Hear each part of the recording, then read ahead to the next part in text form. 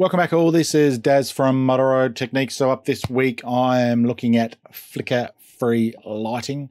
This is about fourth take I've done this, and that's the first time I've actually set it properly. So we digress. Um, so what is flicker-free lighting? So you might have had some issues with your rolling stock, or so your coaches and guards vans or caboose, uh, with the lighting flickering due to various things. Could be dirty track, dirty wheels, dirty pickups.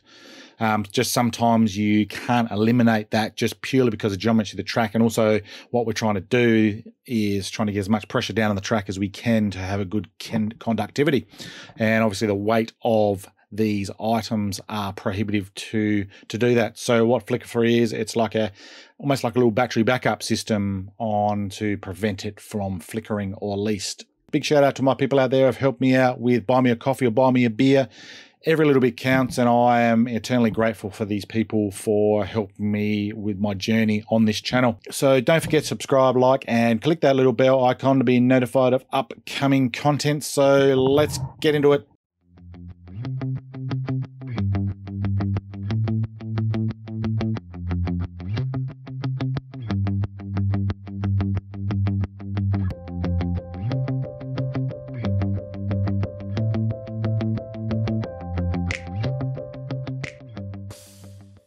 So my journey within flicker-free lighting started with a, a, circuit made by a US modeler I found online. His name is uh, Jim Betts. So initially, this is the up on the screen here is the the circuit that he has designed. So it can either be used uh, DC or DCC.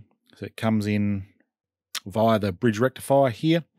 So with this this type of circuit, there's a myriad of ways to install the pickups for the lights. And obviously this is a little bit beyond the scope of what this video is going to be about. That could be a whole another video in itself. I did try this circuit with incandescent lights, but obviously due to their their high current draw, you need a much higher um, valued capacitor, maybe a one farad supercapacitor or something similar, which then obviously starts getting rather large. I did find that uh, using this this circuit on DC is non-polarity dependent.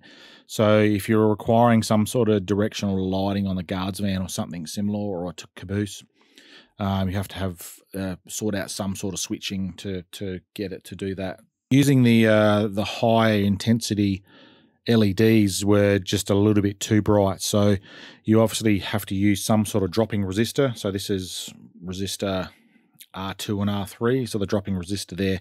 So I sort of went through a, a myriad of other ones and I sort of settled on a um, a thousand ohm or 1k and using this uh, this value of resistor gave me a good intensity. So obviously the the way this works, the the lower the current that's being consumed by the rest of the the lighting circuit, the the less flicker that you're going to get effectively. So this is the current circuit that I've been um, experimenting with, and I will show you actually in one to one exactly how it works, and it looks very similar to this on the breadboard. So the one issue with the the last circuit that I was showing you by Jim from the United States sort of worked okay with the guards van side of things because it's got less LEDs.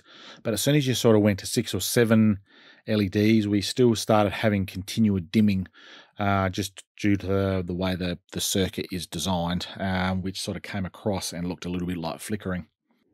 So, very, very quick overview how this circuit works. So, so basically, we go through the bridge rectifier, which is this component here. So we got the DCC coming in both sides. So we will just refer to DCC. So that's our input.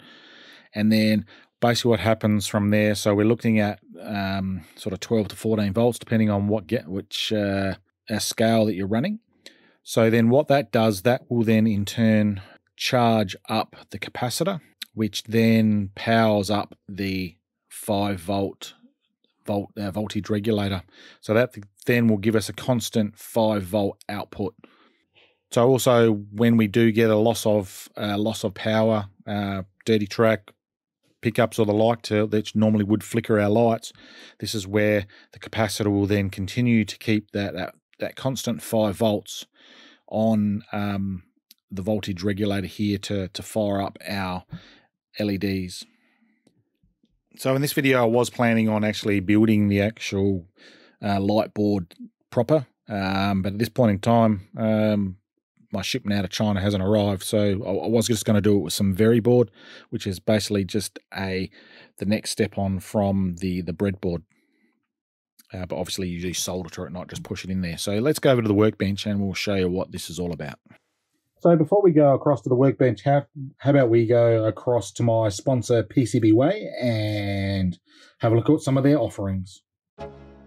This video is proudly sponsored by PCBWay.com. If you're a tinkerer, inventor, or advanced electrical engineer, you need to check out PCBWay or you are seriously missing out. They are passionate about PCBs ranging from standard to advanced PCBs with 1 to 30 layers with full featured printed circuit boards. PCBWay don't stop there. They offer basically everything you need to make your ideas a reality.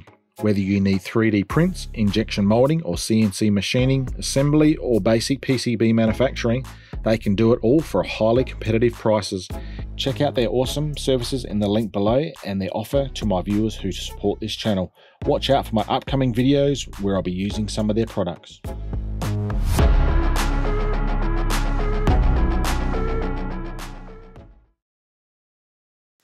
So what we're going to quickly look at is firstly what components we're going to need. So buried away down here, we've got the uh, the bridge rectifier, which is ZR 1304, or a smaller one, which is ZR 1308. And then we've got uh, the C1, the capacitor number one, um, microfarad. It's got to be 16 volt electrolytic or larger. So I've got 470 microfarad. And then we've got the 5 volt voltage regulator. So let's just, uh, we've got the two DCC cables coming in. We'll just turn the circuit on and I'll just let the, the capacitor charge itself up. A few moments later. So what I'll do, this, so this is emulating the track power. So what I'll do, I'll end up taking one of these off and you can sort of see it takes, you know, half a second to a second for it to totally um, extinguish the the lights or LEDs. So what we'll quickly do, we'll just quickly turn the power off at the command station. So a little experiment that I, I did try is just adding a few more of these. Now this is obviously going to come to how much space you've got. Let's just try a few more.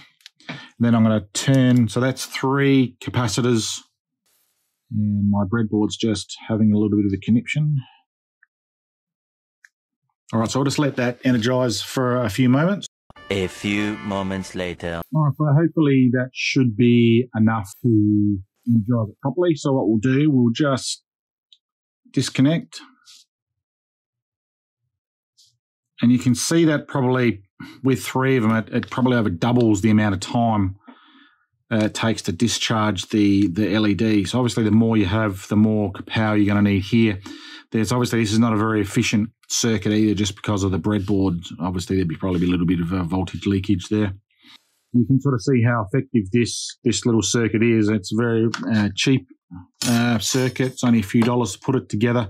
It's just a matter of getting different um, different capacitors maybe a higher higher quality, so higher value capacitor just acts as a bigger battery. And also the issue is depending on the size of your coaches, where you're actually going to put these little guys, because that would have to be on um, individual light boards. So one thing I need to just quickly touch on regarding the capacitor here. So if you go above one microfarad, you're going to need some sort of current limiter. So I'll try to quickly explain the current limiter. And I'm sorry I don't have a, uh, a diagram of that, but so that's installed to eliminate what they call the inrush current. So what happens with inrush current is tripping the actually trips the DCC booster and its internal circuit breaker, which normally happens at the power up of your system or after a short circuit. So the limiter will comprise of around a one amp diode and also some sort of uh, resistor, low value resistor, probably between 150 200. And they're wired within parallel. So they will fit between uh, in the bridge rectifier, sort of in this section here of the, the positive uh, outlet, and the other end of the diode will go to the positive of. So the positive of the the bridge rectifier will go to the positive of the uh, capacitor here. So that's a very, very crude way of looking at how we, we eliminate the, the, the inrush current. So that's the end of, the, of this video. Just a very short, sharp, shiny one. Sorry the, the quality of the footage wasn't uh, fantastic. I'm not sure what happened there. Um, so the questions are, was this the sort of thing you would use or do you have a better circuit out there that is either easier or smaller and comes up with um, better outcome. So I'm very interested in what people are doing here. So make sure you make comments below. So don't forget subscribe, like, click that little bell icon, and also consider to buy me a coffee or a beer, depending what part of the world from. As I said, any little bit counts. I'm just trying to upscale my microphones and the like to, to get better sound quality going. So thanks for watching. See you next time. Make sure you subscribe, click that little bell icon to be notified of upcoming videos. Support us on Patreon like us on Facebook and Instagram at Model Railroad Technique.